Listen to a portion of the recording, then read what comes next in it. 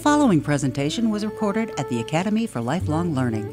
The Academy provides adults ages 50 and older a learning environment of continued personal and intellectual growth.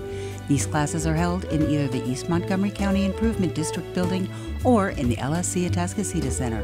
For more information, please call 281 312 1750 or visit the website at lonestar.edu slash all kingwood.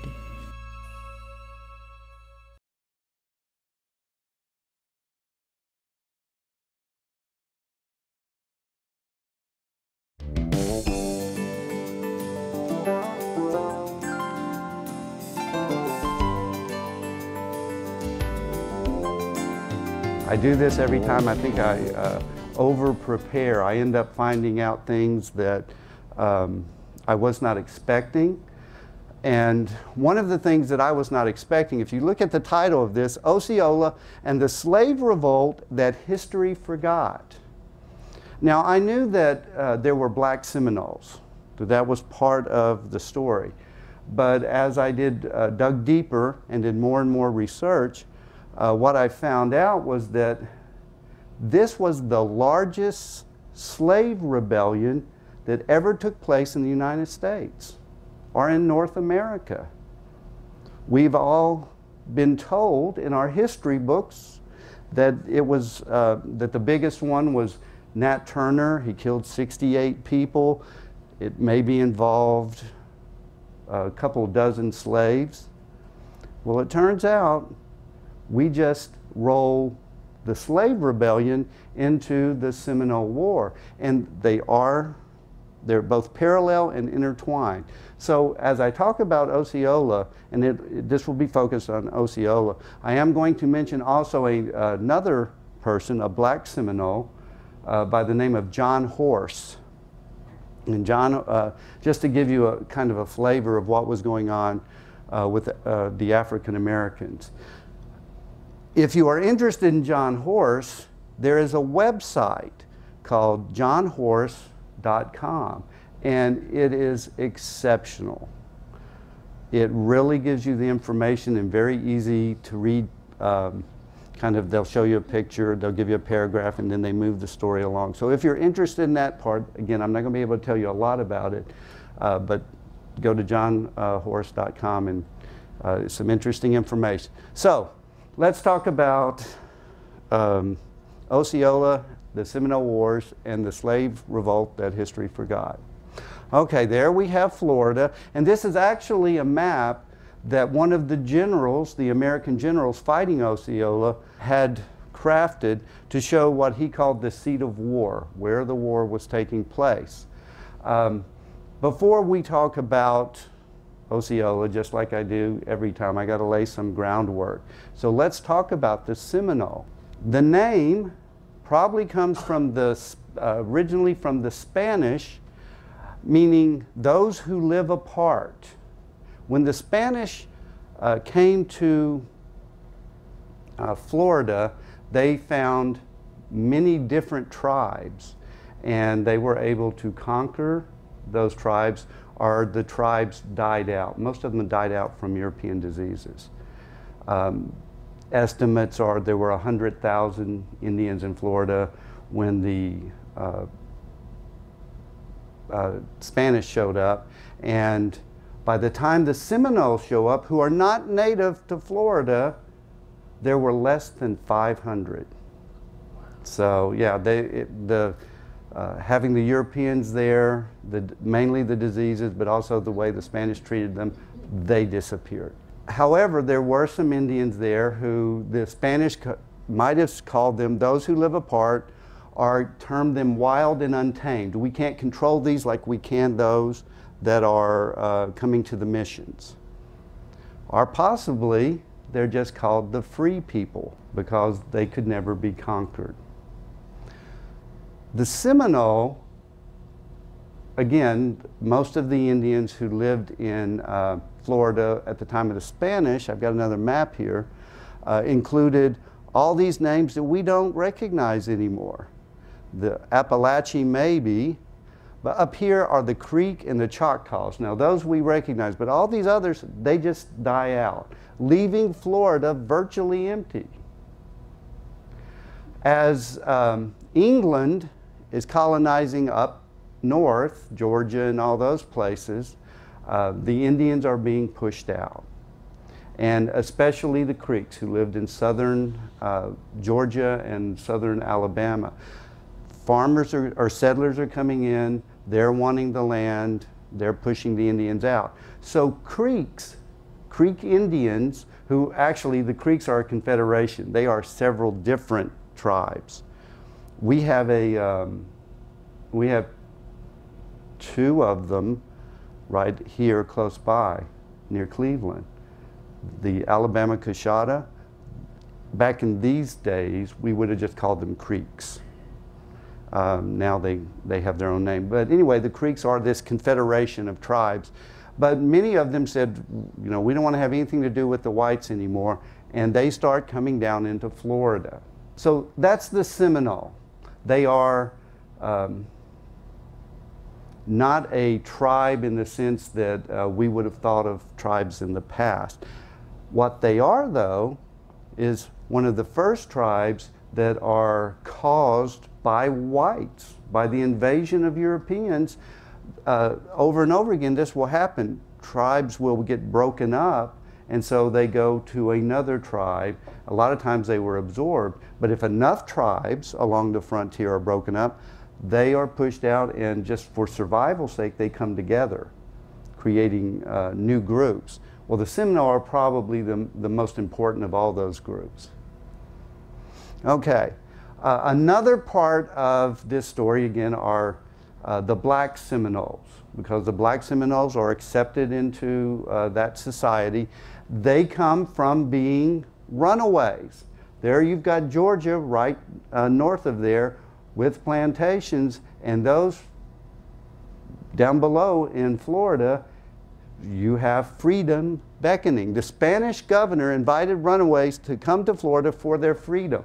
Now, what they had to do in some cases was they had to um, man, the, they had to take up arms and be soldiers or militia. So the, the Florida, it's not like there were a bunch of Spanish settlers. So to control Florida, they needed somebody there. Uh, more to keep Florida out of the hands of the English than because they really wanted Florida. It was just, you know, Florida is going to be ours, so we need somebody to do that. So they let it be known that you will gain your freedom if you come to Florida. Well, that makes it a place that people are going to run away. When we think about the um, Underground Railroad, we think of people going north. Well, if you were from the Carolinas or from uh, Georgia, you're going to go into northern Florida. These people kind of went through stages. Um, the, the runaways, once they escaped, oftentimes would create their own societies, their own villages, and they are called maroons. Now, we've all heard the term marooned or a maroon. Well, first, we've all heard the term marooned. We think of pirates, right? Somebody is, uh, the pirates used to take someone they didn't want on their ship anymore, they drop them off in a, on a little deserted island. They are now marooned. Um, in this case, it is referring to the fact that from the beginning of um, the importation of African slaves, to South America and, well, anywhere where the Spanish were, um, some of the slaves would escape and would create their own societies. You know, hide from, they would find the most undesirable place and hide from the Spanish who don't want to go into those undesirable places. So they create little villages there. From the Maroons, now this didn't always happen because some of this, these uh, runaways go and work for the Spanish. But from these Maroons, we have the black Seminole. They evolved, they, they attach themselves to the Seminole tribes. Now, that does not mean they lived with one another. What happened a lot of times is slaves would run away, they would find one of the, uh, the black Seminole villages, and that, what they would find out is that village is a um, subsidiary, answers to a pure Seminole tribe or village nearby. They are under the protection of the Seminoles.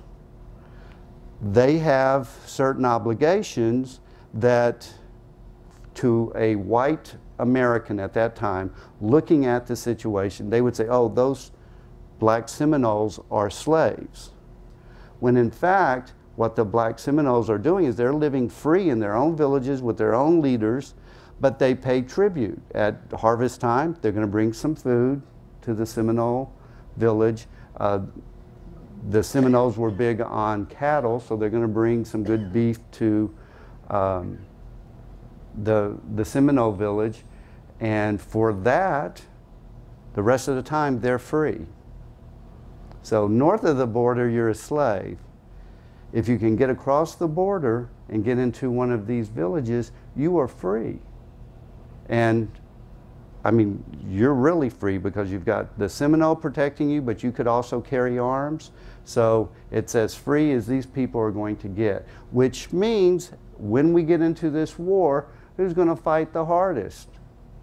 It's going to be the black Seminoles because they are not going to have options that the Seminoles have. Now, the whole point of this war was so that the Seminoles did not have to leave their homeland and go to Indian territory. Well, for black Seminoles, they don't even have that option. They're going to get picked off by people in Georgia who say, You're my slave. So they're going to fight to stay in Florida. So Seminoles and black Seminoles. And then again, there are also slaves in Florida. Once Florida becomes part of the Union, there are going to be slaves, and they are going to participate too in a slave rebellion. Black Seminoles are not slaves. I mean, some of them could have been born slaves and escaped. Others are born free. That uh, uh, black Seminole leader that I mentioned, John Horse, was actually born free. So he had never been a slave, but he is going to uh, rally the slaves around him.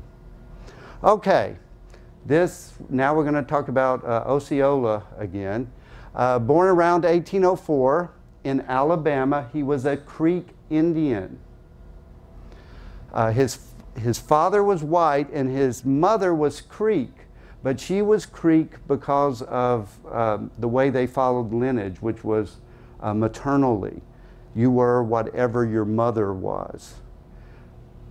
His mother was only one quarter Creek. She was white otherwise, but because her mother had been Creek, she's Creek. So really, Osceola, I don't, what's the math on that? I don't know how you do that, but I'm thinking three quarters white. Uh, he would tell people when he's an adult that no, he was full-blooded Seminole, which doesn't even make sense because the Seminoles are a, a tribe that comes together from other groups. And he would never speak English. He refuses to, though his father spoke English. Uh, he, his, name, his father's name was Powell. His name was Billy Powell.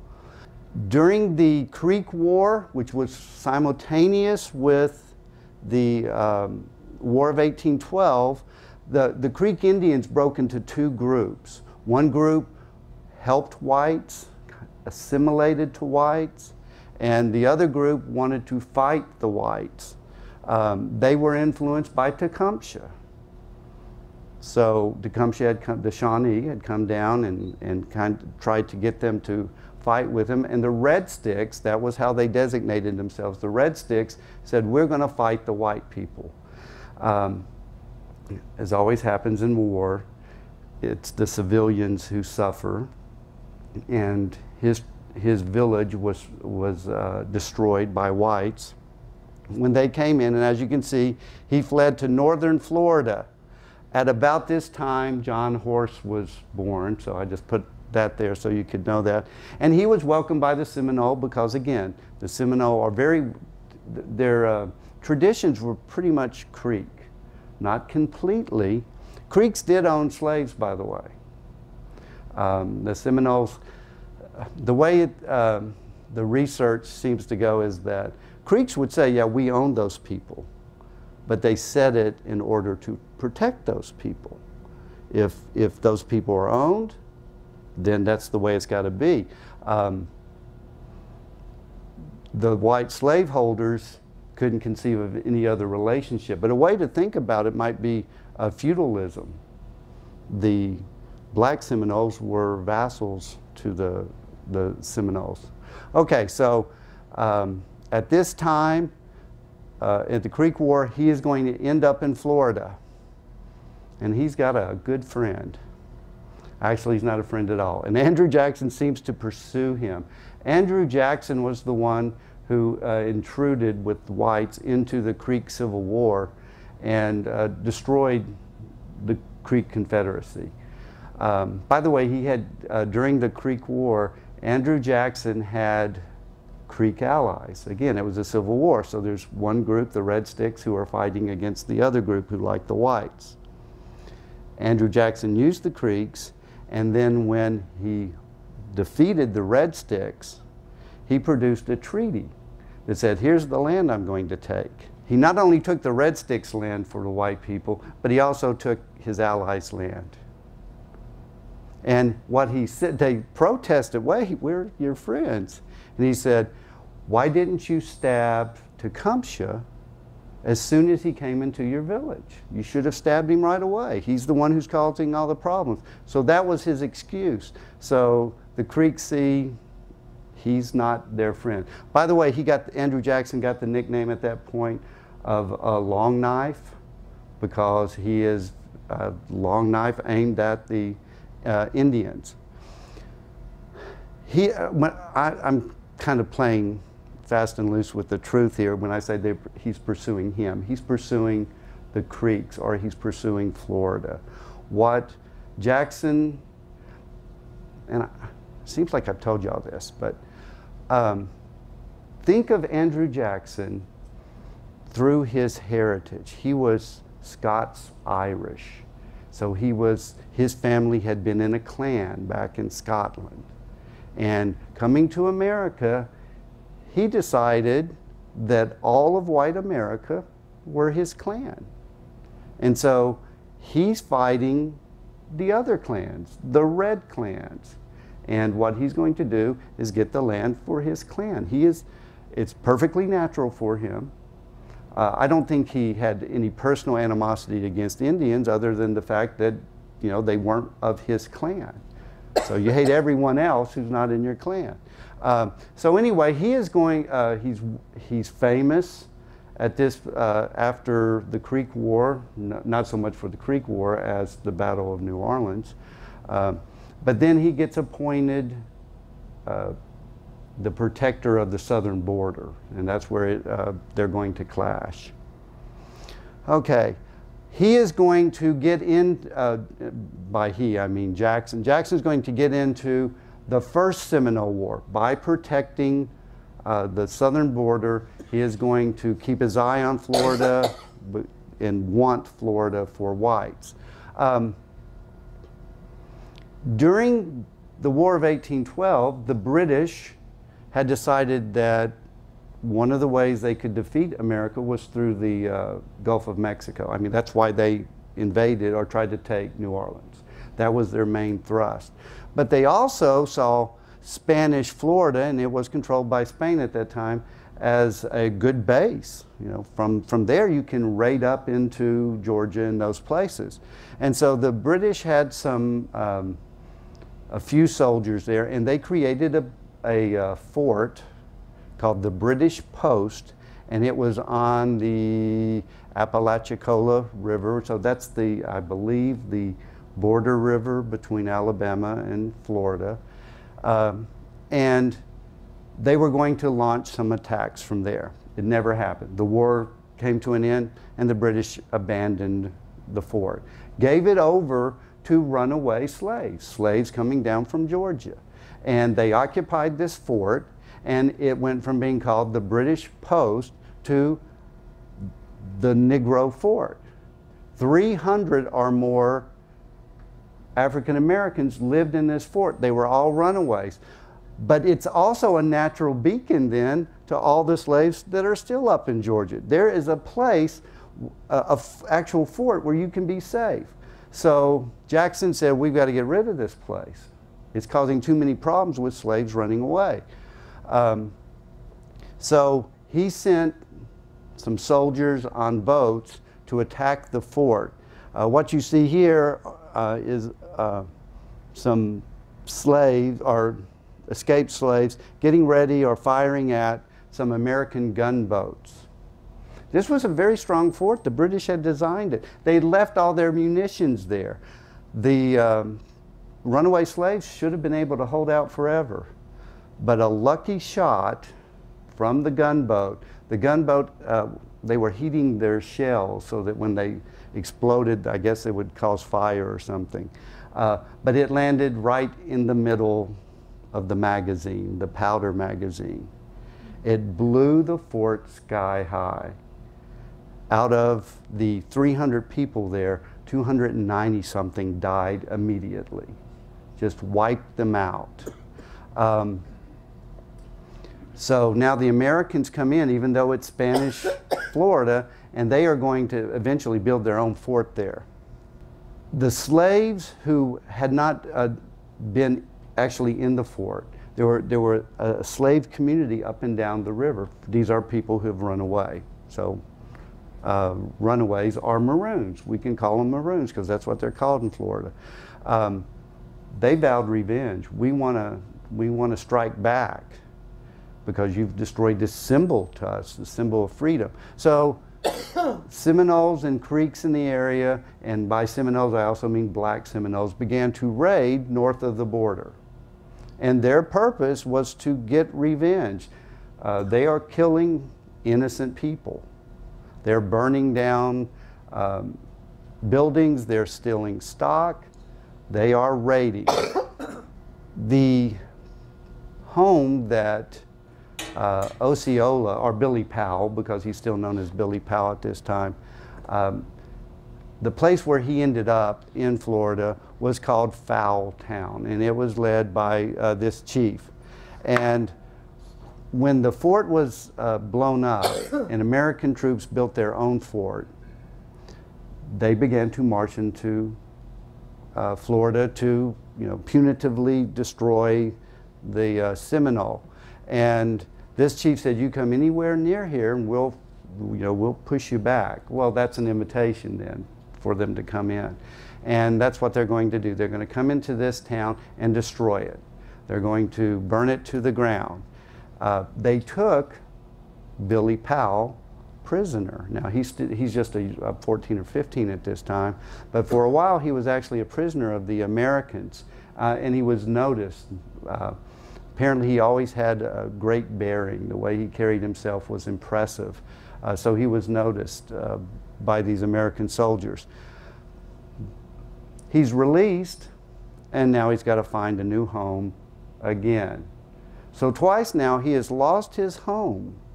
I mean, and really lost it. His whole town's gone because of whites. So he's kind of picking up a, an image here. Probably don't hang around white people. And he's going to move down close to Tampa Bay. Okay, some uh, more things about the First Seminole War. Uh, Billy Powell's not fighting in it, he's too young yet. Um, but President Monroe had his eyes on Florida. There was a side uh, bar there uh, a little earlier where it said Congress had secretly told the president, you can take Florida. So we were coveting Florida, which is kind of interesting because we didn't really want the land. What's going to happen afterwards, once we get all this, settlers come in and we raise some stock there. But other than that northern band, which has some good land, we didn't want all that stuff where we pushed the Seminole. When we attacked the Seminole, we didn't want that land. What did we want? What did white people want? We wanted the slaves, the runaway slaves. It was about this, these wars are about getting those slaves back. As long as those slaves those, those free men, as long as free blacks who carry guns exist in Florida, that is a danger to the entire system of slavery in the South. Okay, so here, uh, there's some controversy about this. Um, Jackson, or President Monroe told Jackson to stop the raids. Jackson took that as meaning I'm going into Florida, and he just went ahead and did it, even though there were people in Congress who didn't want him to do it without official sanction. Later, when he runs for president, there's some controversy about that, you know, because you do the digging and you find stuff on them, and they're going to blame, you know, say he was just out of control, which in a way Jackson was always like that. I mean, he was always out of control. Um, the war was just over quickly. There, it, it, wasn't much of a war when you start reading about it. Uh, I think maybe it got its name after we had the second one and then the third one. Then it's like, oh, we see a pattern here of the Seminole resisting. Um, he just penetrated into the north of the um, country or state, territory, whatever it was then. Uh, he never went uh, deep into the country. Hated Florida. Weather was bad. He didn't want to be there. He's actually appointed governor. I think he stayed four months. Maybe not even that long. Uh, he just didn't like it. So he's going to get out of there after winning Florida. Um, he had, by the way, when he won the war, that didn't mean we had Florida. Uh, he had to retreat because it's still part of Spain. But what that told the Spanish was that they can't hold Florida. It's impossible to hold Florida against a strong young United States. So in 1819, there was a treaty signed uh, where we get Florida and we give or we forgive Spain $5 million in debt. At this time, Spain was in serious trouble. Their empire was crumbling. Uh, it will be just a couple of years before Mexico uh, declares their independence. So Spain was in some serious trouble. Um, as it says there, Billy Powell was forced to move yet again. He's going to move down to the Tampa Bay area. But he is now a teenager and he goes through a ceremony, which is um, every year they have what's called the green corn ceremony. And if you look throughout uh, different Indian cultures, you'll see they have some kind of green corn uh, ceremony. But this is a time where a boy becomes a man, chooses his name, or his name is chosen for him. And uh, part of the process of the green corn uh, ceremony is to drink this nasty, awful black gunk that they get from some plant or some mixture of plants that basically makes you vomit copiously. The point is to purge you. You're going to become a new person. So when he went through this, everybody else is feeling sick and horrible. I'm not saying he didn't feel sick and horrible because he vomited like everyone else, but he came out singing. He's happy to be a man, to be purged of all of his past. And so Osceola, which again, that's a corruption, the way we say it as corruption, means a black drink singer. He is now Seminole, and he would always say that I am full blood Seminole, would deny his white blood. Uh, at this time, John Horse is a boy of six or seven. Uh, he too lived in the northern part of Florida, so he is forced to move uh, deeper into Florida as well.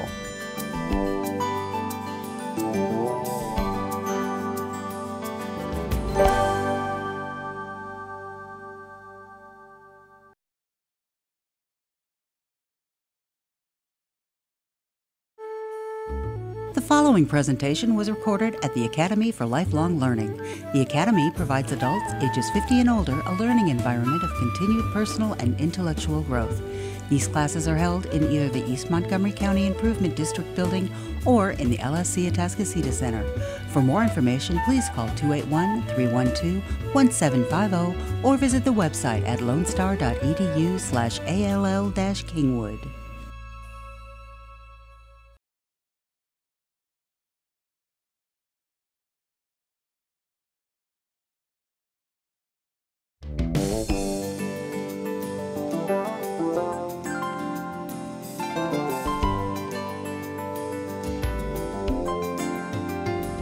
Okay, now we're going to have to talk about some treaties because the treaties, Americans don't just seize land. We seek some kind of legal fig leaf, some, ex, not, not excuse for the land, but uh, legal cover. So the first one of these treaties that is going to help uh, whites steal the land is the Moultrie Creek Treaty of 1823. It took the Seminole, who again lived more up north, and it restricted them. They had 28 million acres. It restricts them to 4 million acres, the green portion here. So they did get Disney World. uh, if they just held on. Um, but notice they don't get any coastline, so there, there's no external contact that's going to be possible. Uh, it turns out, well, it's pretty obvious, that there were seven, I believe it was, uh, chiefs who signed this treaty. And they signed the treaty, but they themselves are not obligated to the terms of the treaty. They don't have to move. They get some money and they get their own private little reservations in the northern part of, of uh, Florida, so estates. But they, their people have to move to this land. If you've ever been to central Florida, I was there a few years ago, you know, it's pine barrens or swamp. It's not good land to grow things, and the, the Seminole are going to go hungry being there. Getting there, well, the, let's put it this way the governor of Florida, after the Seminole were, were forced there, he visited there once. And he came out and he said, That is the worst land I have ever seen. And we're forcing these people to live there. So, guess what the Seminole are going to do? They are going to leave that area and go out searching for food. And they're going to bump into white settlers, and somebody's going to get killed. So then there will be um, soldiers called in to fix the problem. So, but that's where they went. At the same time, Osceola now is an adult, and he becomes the policeman for his band of Seminole. And I'm there's several of these words I'm really going to mask here, but I'm going to say Tustanugi. Tustanugi. That's what that means, policeman. Um, so that is his job as an adult. By the way, the Creeks had policemen too. Um, these were people to, that did keep uh, tribesmen doing what they're supposed to do. So he's got his adult job now. Seminoles have lost their land, the land that they liked, and they are forced into a barren land. Okay. Osceola marries. He married a young girl about 10 years younger than him uh, named Morning Dew. And there is a great possibility that she was black, that she was a black Seminole, though there's no definite proof other than the way he acted. Um, and that was not unusual for black Seminoles to marry uh, the, the not full blood Seminoles, but the Seminoles. Uh, even though it wasn't as prevalent as you might think, because again, two separate towns, two separate villages. They don't uh, live together. Um, but he went to visit a town uh, and saw this uh, young girl, and I don't know if it was love at first sight, but he decided he was going to marry her. Again, her name was uh, Morning Dew. One of the stories that came out of uh, the legend of Osceola was that the reason he began to fight the white man was because um, Morning Dew had been captured by slave uh, hunters. The newspaper article you see there is from 1839, and it shows the um, whites taking away his African American wife. Again, there's no proof that that happened in that particular case, but that would not have been unusual. There were slave hold, holders coming down searching for uh, black Seminoles and runaways all the time, and the Seminoles protected them. And he certainly was sympathetic to them at the very least. Okay, now a little bit more about John Horse. Uh, by 1826, John Horse was 14 or 15, and um, he had had to move further into California. Uh, just outside of Tampa, the Army had built, where is it? Camp Brooke. And there were soldiers there, led by Lieutenant Colonel George M. Brooke. Uh, this, again, this, this land is not the greatest land. Um, when Brooke got there, he would eat some of the local fare and he didn't like anything. He didn't like any of it except for Florida gophers. Oh. It's a terrapin. They burrow into the ground. So they are called gophers or gopher turtles, Florida gophers. Um, one day, uh, a black Seminole boy comes walking into the camp. Now, th by the way, this is kind of unique too, it's kind of telling. Um, this camp will take you if you're a, you know, they look for runaway slaves, the army as slave hunters. Uh, but black Seminoles, they don't touch. So he comes in and out of the village, and he comes into the village one day carrying a bag with two big gophers. And he offers to sell them to, the, to Colonel Brooke, who has discovered that he loves gopher meat. And so um, the colonel met the young man and paid him a princely sum at the time. I don't, they said a quarter. I don't know if that's with inflation or without, but um, paid him a quarter for it. And then said, Boy, if you can bring me more, I'll pay you for them. He told John Horse, that's who it is, to go and put the two turtles in a pen. The next day, John Horse shows up and he's got two more turtles. He sells them to the uh, commander. The next day, he sells him some more turtles. For a week, he sells him turtles. And at the end of the week, the colonel, he's going, I've got so many turtles out there. I'm going to have a feast. I'm going to have all the people come, you know, all the officers come in and we're going to have a feast of gopher meat. He went out to, y'all see this coming.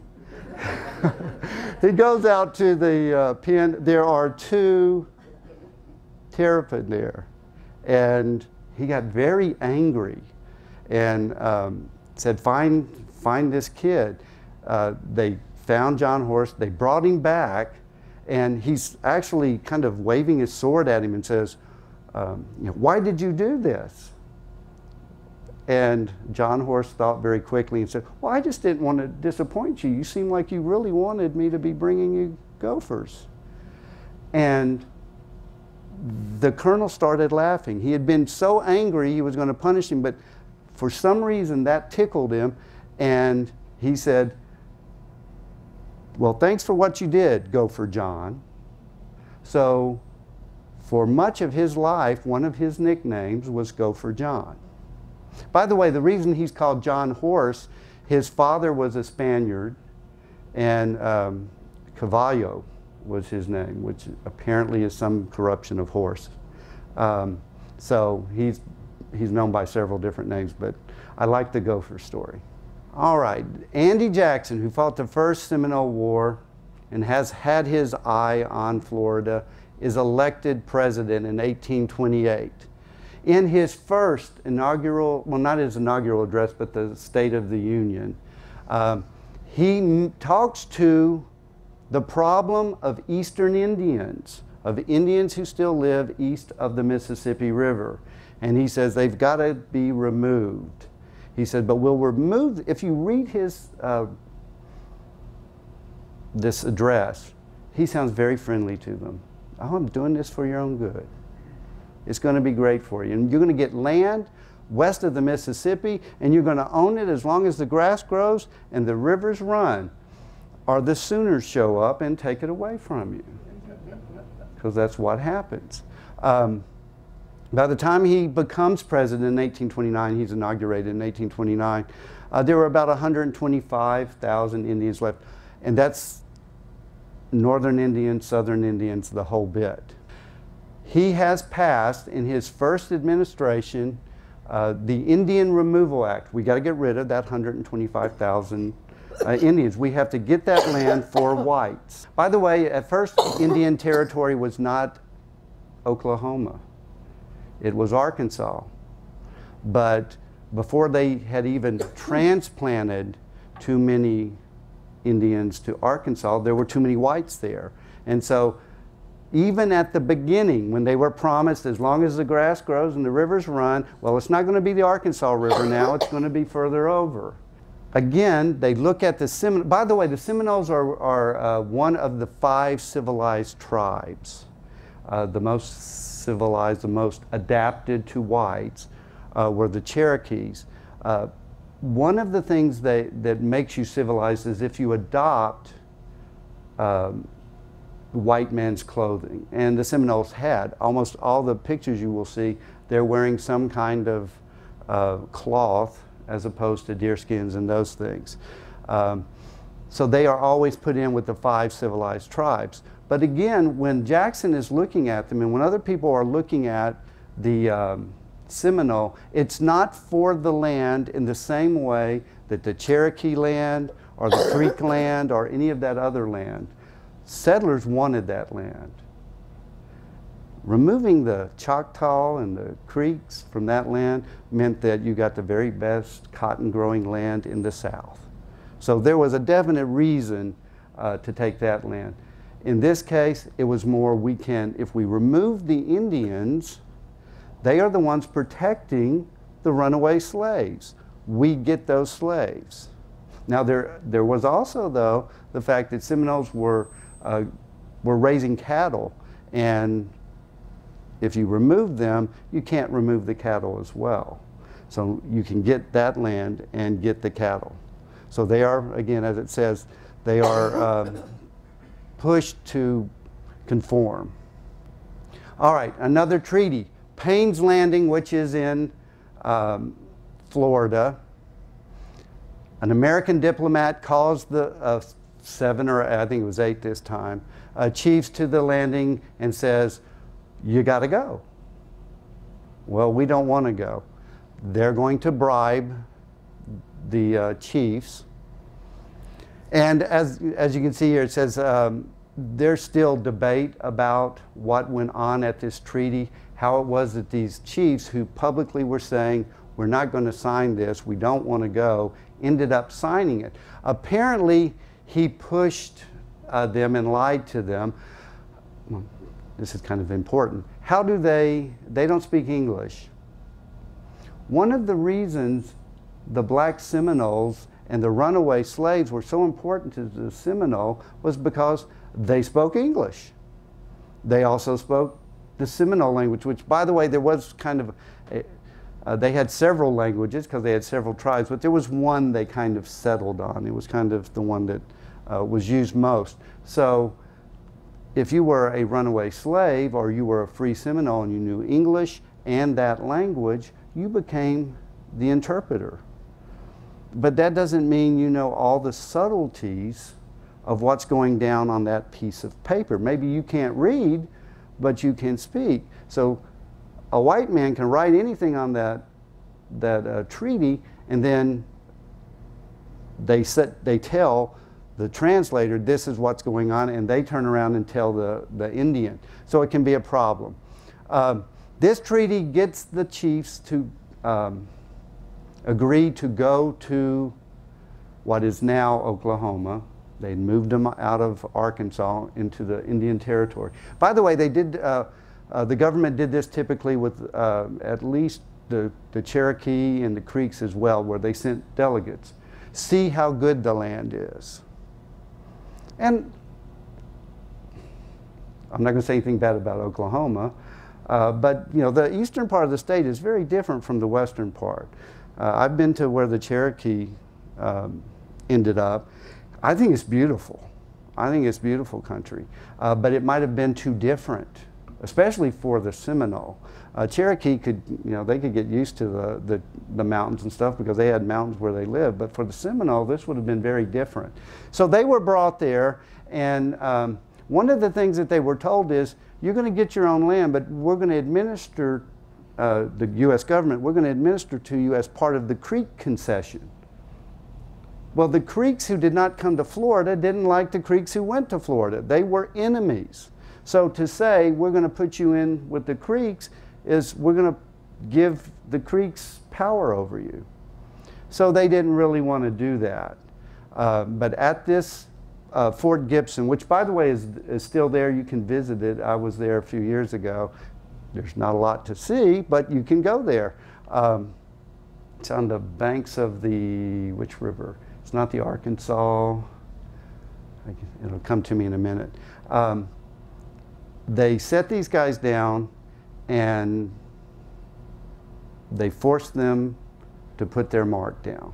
They lied to them. They changed the terms of the treaty. In the first treaty, or in, the Payne's Landing treaty, treaty, it said, you're going to go look at the land, and then when you come back, if they should be satisfied, means if the Seminoles should be satisfied with what the representatives tell them, we'll move. You'll move. That's what Payne's uh, Landing Treaty said.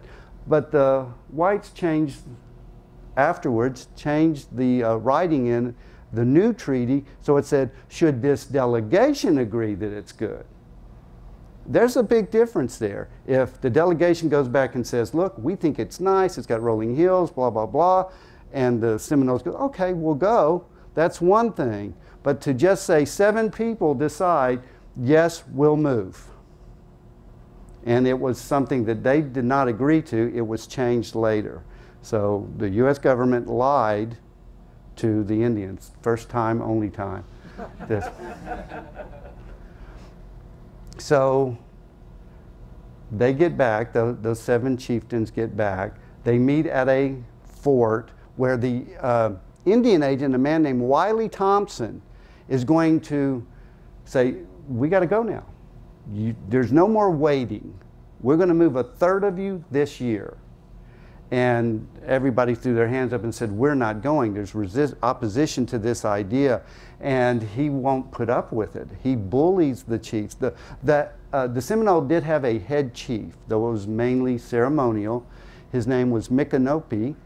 Uh, that's him there, and they called him old and fat and lazy to his face. They're calling him all, uh, uh, Thompson's calling him all these names. And Micanopy went back and forth about whether to sign it or not. But he has someone standing behind him who is going to give him a little backbone. Um, well, before we get there, the reason they're so worried is because in this treaty it says you're going to turn over your runaway slaves. There's no more of this shielding them. You're going to turn them over. Uh, the black Seminoles, uh, the tribe is worried about as well because you've got to travel through the South to get to Indian Territory. And you are going to, you're going to have people showing up saying, You're my slave. So they want some kind of protection for that before they'll even consider it. Uh, at any rate, here's where we have the emergence of Osceola. Before this time, he was just being a good policeman, doing his job, keeping people in line, but he had not interfered with the politics at all. But when Thompson presents the treaty and puts it on a table for everyone to sign, does anybody know what happens? It's kind of his famous defiant thing. He pulls out his knife and slams it into the treaty, into the table, and it just sits there doing this. And he says, This is the only treaty I will make. There he is, plunging it into the. Now, whether he really did that, there's some question about maybe he just waved his knife around or whatever, but the legend is he did this, but it shows his defiance. That's it. And he, he, he is going to be the spark that starts the Second Seminole War and leads the Second Seminole, Seminole War. Um, Micanopy will be around, but he basically does what Osceola says. By the way, the whites still only knew him as Billy Powell. And so they were going, Powell just kind of went nuts. They, they had known him. I mean, he, he had gone into white settlements and things like that. But now he's saying, no, we're not going to leave which may add credence to the idea that his wife was African American. Because if she goes, she either gets taken by slaveholders when they come into Florida are on the trip over. So this may be, uh, again, some people say it's circumstantial, but uh, this may prove that he had a, a African-American wife. He was very, um, well, he was arrogant. I'm talking about Osceola. And he was very angry and he did not know how to hide his anger. So he's, uh, he kind of leaves at this point, leaves the fort, but then he comes back. And every time he comes back, he's belligerent and he's telling other Indians, You're not going, and uh, I'll kill you. And Thompson has him arrested and thrown into the, the stockade. And for a couple of days, he just goes nuts. He's tearing the thing up. He is, he is wild. And Thompson told him, You're never getting out of there till you calm down. And it's overnight. He was very calm. He apologized for what he had done. He even promised he'd bring his band of Seminole uh, back in so that they could be some of the first that were transported. Thompson was so thrilled. He said, He's a good Indian now, and gave him a, a beautiful rifle as a reward for calming down. Osceola has not calmed down, but it's come over him that it's better if he looks like a, uh, a sheep rather than a wolf. And he leaves. When he leaves, they are prep. They under, uh, the Seminole understand that war is going to occur. One of the things that the black Seminoles do is they go uh, to plantations along the St. Johns River. The St. Johns River is on the eastern portion of Florida. I'll show you a map in a second. And um, they are just walking onto the plantations and telling the slaves, get ready. There's going to, you know, we'll, we'll supply weapons for you and you can rise up. So uh, these were sugar plantations all up and down the St. Johns River. And uh, that was the only thing that was prosperous for, for whites in Florida. Oh, I didn't tell you about that. All right, so they're preparing Osceola is preparing as well. There are some Seminole who are willing to go. One of them was a chief named Charlie Ithmathala, and he was uh, he went into I think it was Camp Brooke and received payment for preparing to take or bring his people in. And of course, to Osceola, this is a bribe. And so uh, Osceola caught up to him on the road. They had an argument. Osceola murdered Charlie, that's Charlie over there. And when he did this, he made sure nobody took the money that, he, that Charlie was given, but he pulled the money out and sprinkled it over his body. And he said, There's your payment. Nobody leaves Florida. So he is an enforcer. Remember, he had been a policeman, so he, he's going to enforce his new law. So the war finally shows up. This was all earlier in 1835. The war uh, comes in December of 1835 at the end of the year. Just so you know, at this, to kind of give you a timeline, um, the Chickasaw had already left for Oklahoma. Uh, some of the Choctaw had left, but the uh, Cherokee won't leave until 1838. They're fighting legal battles. They're not going to fight with guns, they're going to fight legal battles to try to keep, uh, to stay in Georgia. All right, so the war begins with assassination and slaughter. On December 28, 1835, Osceola led 60 warriors in an attack on Fort King. Osceola leads men to Fort King with the purpose of killing Thompson, the man who said he was now a good Indian. Indian. And it was dark, uh, Thompson and another man walked out after dinner, and uh, 60 Seminoles shot him dead. Uh, and one of them was Osceola with the rifle that was given to him by Thompson. So, is that justified? I think sometimes people want to just everyone's everything's noble about Osceola or Tecumseh or whatever. This seems almost petty to me. This seems like personal vindictiveness. But then again, Thompson was not like a great guy either. He had been bullying the, the Indians. Um, while Osceola is doing this while he's assassinating uh, Wiley Thompson. There is a, larger group of, of Seminole who are waiting on this road for a detachment of American soldiers who are marching between those two forts. They are changing base. It is the slaughter, it's the Dade Massacre. Um, Major Francis Dade with 108 soldiers is ambushed on the road. They had the perfect spot. They were led there by a black Seminole who was helping the white man. By the way, later on in the war, one officer said, they never do that. They never turn on each other. And it is interesting that as soon as they got to that spot, the black Seminole dropped to the ground before there were any shots. Hmm.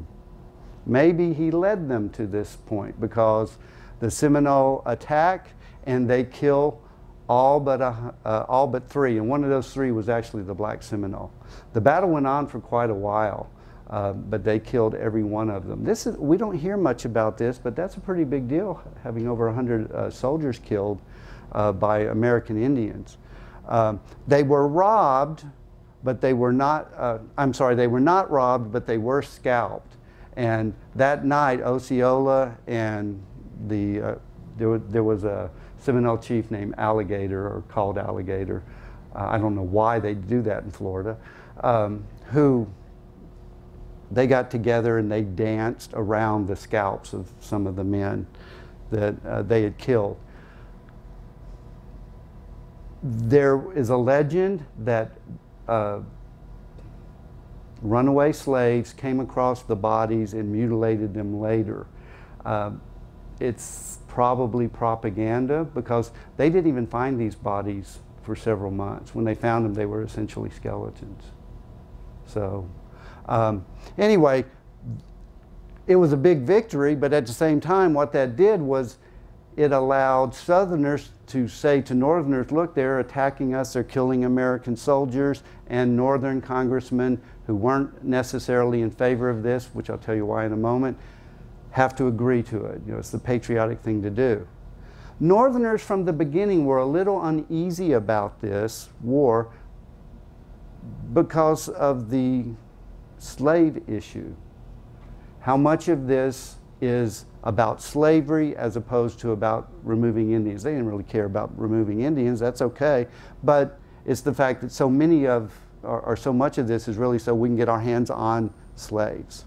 Almost immediately thereafter, um, the first of several commanders that Osceola will defeat gets a bunch of men together and is going to go into the haven that the uh, Seminole have along the Withlacoochee River, which is north of Tampa. Uh, it's almost impregnant, impreg you can't get in uh, area of wild swamps and tangled undergrowth.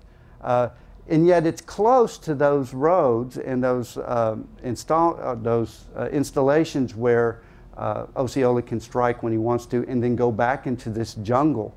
In these swamps, in a lot of Florida, you have what are called hammocks. And a hammock is simply high ground. It's ground that's three or four feet higher than the rest of the ground around it. Uh, and then because it's higher, it's got trees, typically uh, hardwood trees growing there in, in great abundance. And so you as a Seminole want to defend that land. You will get on that land. It's, a, it's advantageous to you. And then when the soldiers come to charge you, they're going through the swamp. They're getting stuck in the mud. Uh, horses were useless. So you can't use cavalry. So the uh, Indians were very good about finding the hammocks and uh, protecting those. Uh, basically what happened, uh, the, the American general is marching down one side of the river, but to get to the cove, to get to the cove, he has to cross the river. There was only one place where you could cross, the, where you could wade across a ford. Osceola knew he was going to have to come there. He set his men up on the hammock just across from um, the ford. And as the whites started coming over, he let some of them over. You always want to divide the enemy's force. And then his men opened up on them. And they just killed, uh, actually, they didn't kill that many, they wounded quite a few people. Um, and the forces are divided. It probably would have been a massacre, except Osceola was wounded. And one of the weaknesses of, of Indian warfare was that so often they looked to their combat leader, their chief, uh, as, you know, we're following him. To see him wounded kind of takes the wind out of their sails. And so he kept wanting to fight, but he was obviously hurt. And so his men finally gave way. The general did not pursue him. He's had enough. He lost four men uh, killed, but dozens wounded. So he hightails it back to the fort. While that's going on, you have over where that red circle is, that's the St. Johns River, you have uh, the sugar plantations, the slaves rise up. The quote that you see there is important because this is from the general who gets credit for winning the war. Uh, the American general wanted people to recognize this is a Negro, not an Indian war, and if it be not speedily put down, the South will feel the effects of it on their slave population before the end of the next season. These are ruins of plantations. They're all up and down the St. John River. You can go visit them. They were burned down in this single insurrection, about a dozen of them.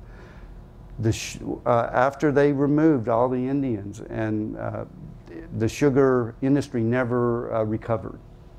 So it, they're, they're all just ruins there now. That's John Horse. It's the only picture of him as a young man that we have. Uh, but they rose up, killed dozens of whites. Whites ran away um, and again abandoned their homes. But why don't we know about this? One of the reasons was even then, when reports like this from uh, General Jesup was his name, uh, make it to Washington, the news is suppressed because you don't want to believe that slaves can do this. So you lie to yourself. You lie to the people. No, they would never, you know, they could never be this organized and destroy this much, which is why we don't know a lot about this. Or in history. It's forgotten. Okay. Um, the first man who was defeated uh, gets replaced, and eventually, overall, Osceola defeats six different American commanders, five of whom were generals. Gaines is, uh, which that gentleman there, uh, was a uh, War of 1812 hero. He was in charge of Louisiana at the time. Uh, he was sent over. Oh, uh, before we get to what Gaines actually did, after a while, and this is not with Gaines, but just overall, American officers started avoiding duty in Florida. There is no glory there. It's, it's a miserable place. You're likely to die. You're not going to, to rise in the ranks because of it. And generals almost always said sort of the opposite. Oh, just put me in Florida, I'll take care of it. Until they were there, and then they ended up sending notes back saying, You can't win this war. Every one of them did that, by the way. Can't win it. So uh, it's kind of interesting how they viewed this. Uh, Osceola, or Gaines comes in from the same direction, is going to go to the cove of the Withlacoochee, and marches down the side of the road, or I'm sorry, side of the river, and this time Osceola crosses the river and strikes him on the other side of the river. Um, Gaines was surprised. He wasn't expecting it. His men basically just kind of in the open, uh, in, a, in the forest, I may have a picture of it later, um, where there are a lot of pine trees, but there's not a lot of undergrowth they just kind of get in a big circle and start chopping down some trees and stuff, and they build a small fort-like area, and the Seminole lay siege to them. And it got to the point where Gaines, uh, uh, Osceola sends a, a sends a uh, messenger and saying, let's discuss terms. And General Gaines says, okay. So he's going to discuss terms of surrender. And then the cavalry showed up, just like the old West, except they were infantry. Some a relief column comes up and uh, struck the Seminole from behind, and so the Seminole take off. It's what saved Gaines. Uh, Gaines declared victory, and then said, I and by the way, I'm, I'm needed uh, anywhere else. And he goes back to Louisiana. Um, Osceola, when he was wounded, it took so much out of him that, uh, or in, uh, in coordination with it, uh, he got some kind of tropical illness which was not unusual down in Florida. So, so um, Osceola is in he has bouts of illness, and that sometimes it clouds his judgment. Uh, because, or, or he just can't participate. And that's when usually the soldiers make uh, inroads on the Seminole. Okay, and here I am. General Malaria and General Jesup. Jesup is uh, the fifth commander I've skipped some of these others. They were all useless. They all go into the swamp, declare victory, and then get out as soon as they can. Um, Jesup is uh, put in charge because the last general had to, um, had to deal with general malaria or the sickly season. Uh, up there, campaign season is in winter in Florida. That's when you want to uh, go and fight because it's too hot and too sickly from May to October. They had said, We're not going to go fight anybody, we're just going to stay in our forts. In succession, they had to start closing the forts because there was nobody that was still healthy enough to man them. So if the Seminoles had realized that, they could have come in and killed all those people. So they just closed fort after fort in the interior and came back to the coast until it's time to campaign again. Uh, Jesup is uh, chosen, that's Jesup there, Thomas Jesup, and he has a new plan. Instead of sending out these huge armies that just blunder around, he's going to strike fast. He's going to have hit and run uh, forces that go out, and he's going to target not Osceola, not the warriors. He's going to target women and children. Let's capture women and children, then the men will come in. Also, we're going to strike the black Seminoles. We're going to separate them from the other Seminoles.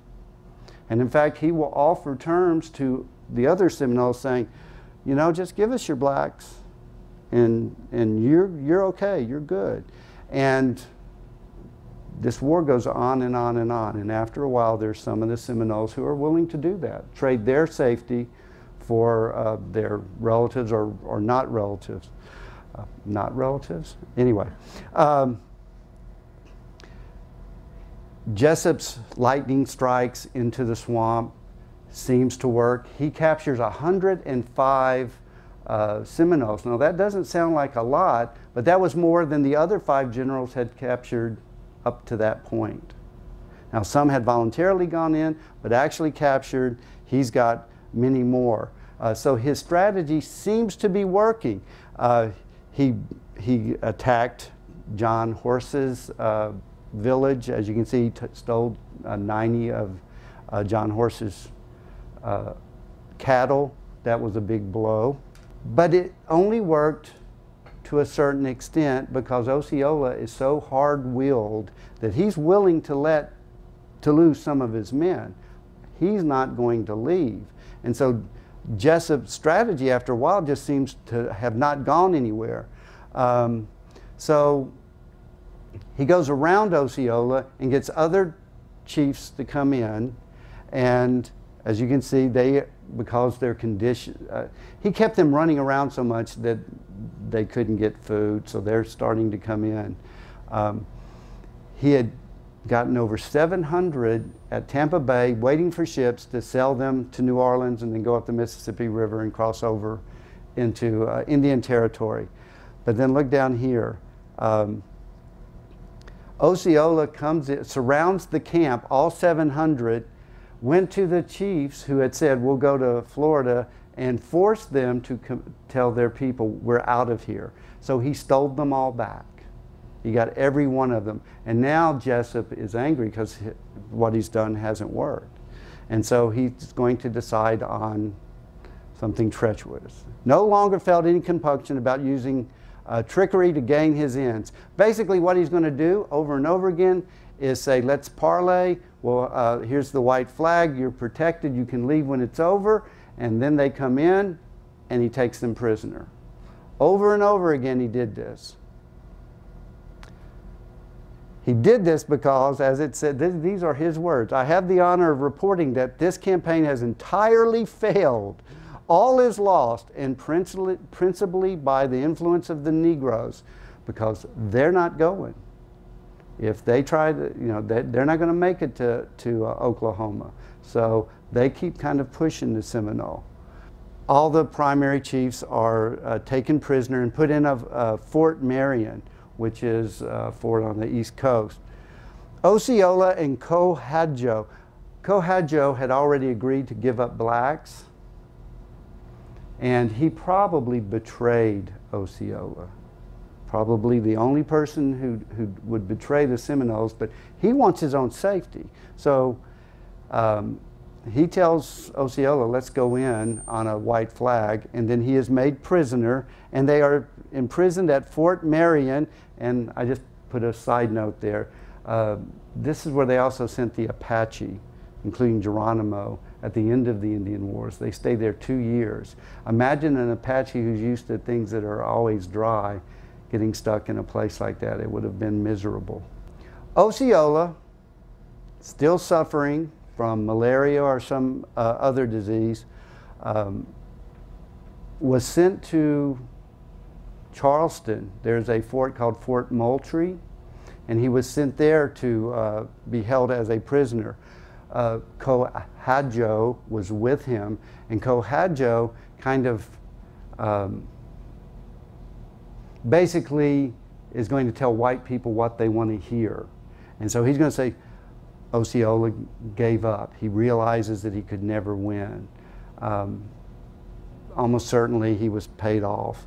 Um, Osceola was sick the entire time he's there. It's only a matter of, of a few months um, George Catlin drew the famous picture of him. Uh, they say it was, everyone who saw this said it was very much like who he was. Um, he died in 1838, and you can see this is a newspaper who's saying, We disclaim all participation in the glory of this achievement, because after all, you just took him, uh, you deceived him under a white flag. But I want to tell you a couple of other things about the death of Osceola, or the aftermath. Um, the doctor who took care of him, the army doctor who took care of him, was the brother-in-law of Wiley Thompson, the man that Osceola had assassinated. Um, when Osceola died, the doctor talked to the captain uh, in charge of the fort and um, they said, we are not sending back any of his property to his family. His family's not going to get any of this. And they basically robbed him and took them as souvenirs. But they're not done. The doctor cut off Osceola's head and pickled it and kept it for the family. And um, that was seemed to be a legend because he didn't make money off of it. He wasn't, you know, he'd show it to you if you came to his home or something. Uh, but in the 1960s, some guy said, I dug up, uh, if you go to Fort Moultrie, it's right there. It's in the front. You can walk right up to the thing. You don't even have to go into the fort. It's in the front of it. Uh, I saw it a few years ago, and I didn't, it didn't even dawn on me what it was till I walked up to it because it's just kind of there. Um, but uh, in the 60s, this man proclaimed, I dug up the bones of Osceola, and he doesn't have a head. Well, that made people go, well, we've got to check this out. Well, it turned out that man had dug near the grave and dug up some animal bones.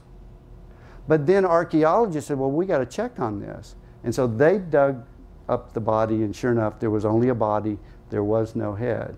So they decapitated him and pickled his head. I don't know if they know where the head is now.